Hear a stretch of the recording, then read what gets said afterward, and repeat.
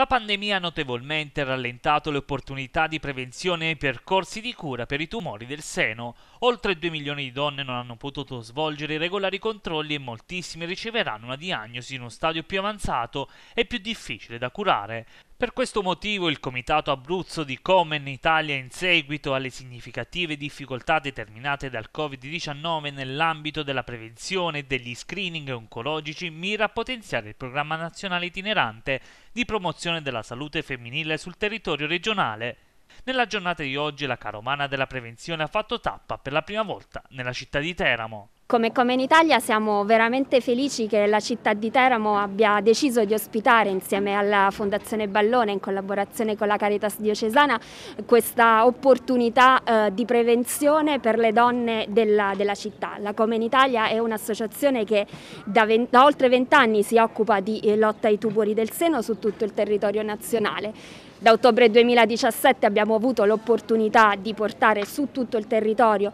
questo progetto di prevenzione e tutela della salute femminile, appunto la Carovana della Prevenzione, che in questi quattro anni ci ha dato l'opportunità di visitare oltre 100.000 donne nei contesti socio-economici più disagiati. La città di Teramo per, per il primo anno ospita questa, questa, carovana, questa giornata è molto importante, molto importante per noi, Cerchia, cercheremo sicuramente di eh, essere il più utili possibile al tessuto cittadino. Quanto è difficile organizzare un evento così importante in un momento così difficile? Difficilissimo eh, dal punto di vista logistico, delle autorizzazioni, dei permessi, ma soprattutto difficile perché eh, la carovana si inserisce in un contesto come quello della pandemia in cui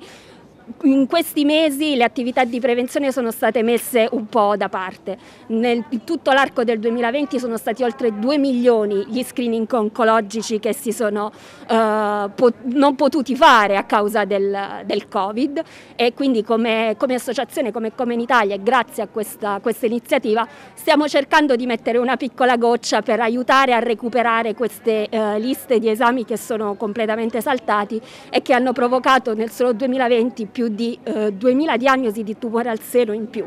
Allora, oggi avremo l'opportunità di visitare circa 70 donne, eh, grazie appunto alla collaborazione con, con il Comune e con, e con la Caritas Diocesana.